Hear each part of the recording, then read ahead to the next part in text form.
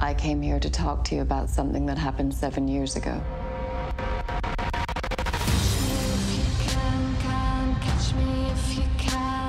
You remember what happened, right? Why I dropped out. I'm not the only one who didn't believe it. You gotta let it go. I'm just trying to fix it. Oh, you don't remember? That's a shame.